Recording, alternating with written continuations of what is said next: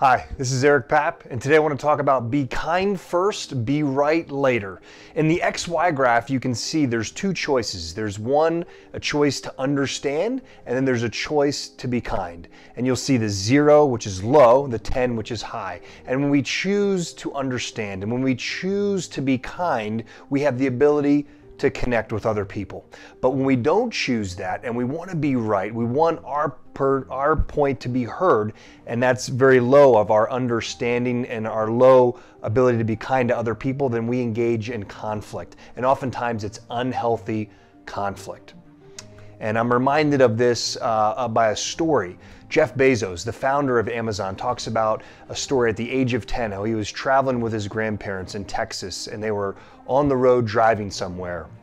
And at the time, Jeff was very curious with arithmetic, and sometimes that he would calculate the gas mileage and he would calculate percentages and how much longer the left they had in the drive. And those types of things. And one day he heard an ad on the radio about how many puffs per minute um, somebody's losing uh, on their life when they're smoking.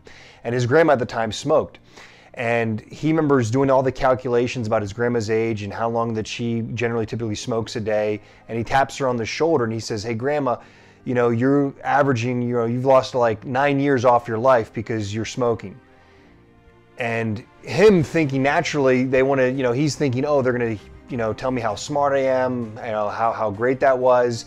He immediately remembers the car being pulled off to the side of the road. His grandma starts crying. His grandpa gets out and he says to him, Jeff, one day you'll know that it's harder to be kind to someone than it is to be clever. And man, we need kindness now more than ever. Abraham Lincoln says, I don't like that man.